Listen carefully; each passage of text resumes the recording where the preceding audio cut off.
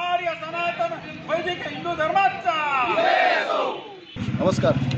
आज इथे दिल्लीमध्ये घडलेल्या श्रद्धा वालकर या तरुणीच्या नृशंस हत्याकांडाचा निषेध व्यक्त करण्यासाठी आणि आरोपीला कठोरात कठोर शिक्षा द्यावी या प्रशासनाला आग्रह करण्यासाठी सर्व चाळीसगाव शहरातले प्रबुद्ध नागरिक आणि माता भगिनी या ठिकाणी जमलेले आहेत. श्रद्धा वालकरची सहा महिन्यापूर्वी निर्घृण हत्या करण्यात आली आणि तिचे सगळे पुरावे पद्धतशीर मिटवण्याचा पुरेपूर प्रयत्न झाला.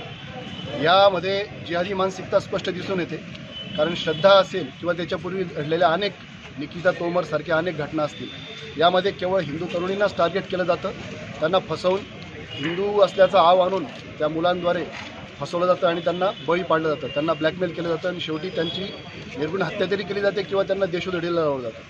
तर अशा या घटना बंद व्हाव्यात. लवजीवाची विकृत मानसिकता बंद व्हावी यासाठी प्रशासनावर दबाव आणण्यासाठी सगळे नागरिक या ठिकाणी जमलो होते. श्रद्धाला अनेक वेळा समजूनसुद्धा तिच्या प्रेमाचं बूट डोक्यावर होतं.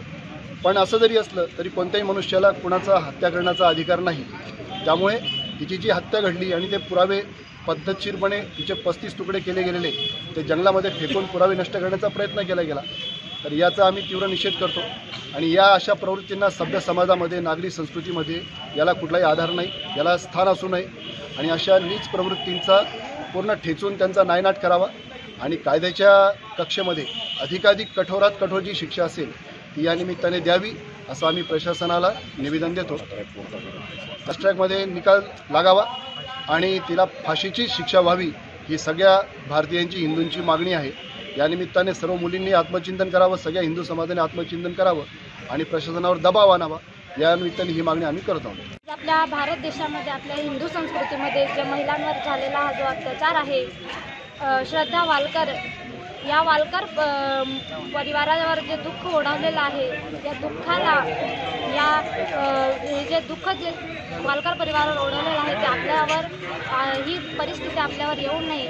आप आपल्या महिलेने आपली जबाबदारी स्वतः उचलावी. दुसऱ्यांवर डिपेंड राहण्यापेक्षा जर महिलेने स्वतः सबल बनून स्वतःच्या रक्षा करण्याचं स्वतःच ठरवलं आणि त्या त्यासाठी तिने स्वतः प्रयत्न केले तर हा समाज हे जे महिलेवर जे अत्याचार होत आहे त्या अत्याचारांपासून मुक्त होईल आणि न्यायदेवतेला माझी या ठिकाणी विनंती आहे की त्या न्यायदेवतेने या नराधमाला या आरोपीला कठोरात कठोर शिक्षा द्यावी.